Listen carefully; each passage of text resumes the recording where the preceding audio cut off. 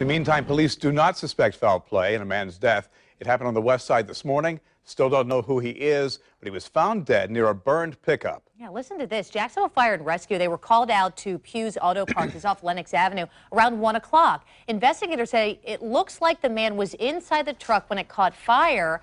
They say he tried to escape, but he just couldn't get out in enough time. The state fire marshal is investigating. The JSO is now saying that they believe that it was an electrical fire. That's because there was some type of wire that was connecting the pickup truck to the auto parts store.